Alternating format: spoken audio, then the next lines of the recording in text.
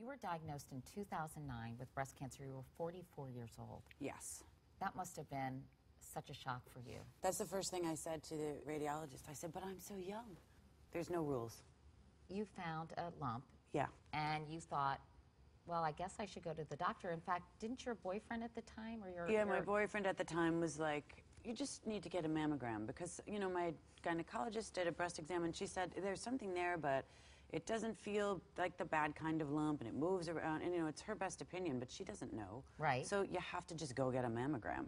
Right. And so when you But got the, a mammogram, the stupid thing is, I hadn't gotten one before, and I was 44 years old, and that's a little silly. Yeah. So I went and got the mammogram, and they were like, "Yeah, there's you have a lump." you basically had breast surgery Yeah. that allowed you to have reconstructive surgery. Yes. Yeah, yeah. And uh, you were also treated with chemotherapy because at first you didn't think you were going to need chemo, did you? No, uh, no one did. After my doctors sort of thought it's all evidence appeared to be that once I got the surgery, it luckily was early stage and luckily had not spread. So they, I was sort of finished after the surgery. But in at the end, the pathology it turned out that I had a aggressive form of cancer called HER2/neu positive. We want to talk about breast cancer warning signs, Maura, uh, so other people will know. It's a new lump or mass in the breast, swelling on all or part of the breast, skin irritation or dimpling, breast or nipple pain, nipple discharge or nipple retraction. So, Any one of those symptoms. Not you don't need more than one. To, Right.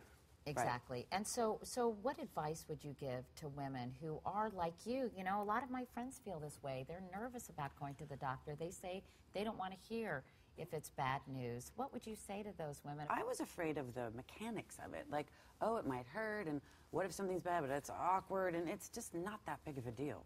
It's you're in and out. It's nothing. Well, thank you so much, not only for coming here today, but now you're an ambassador for Stand Up to Cancer. There you are, looking beautiful. Oh my gosh, yes. By the way, your short hair, and you're also. We should mention. You're also in The Good Wife, which was one of my favorite shows, Yeah. and you're going to be on Broadway with Tom Hanks. How exciting for you! It's what do you, really exciting. Tell us about the Broadway. It's a play called Lucky Guy, written Right, by Nora Nora, Ephron. Ephron, who also unfortunately uh, died of cancer.